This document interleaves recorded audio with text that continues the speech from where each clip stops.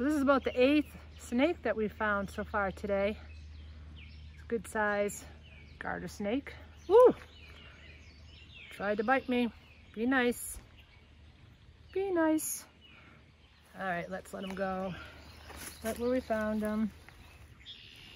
There you go, guy. Bye-bye. Have a safe life.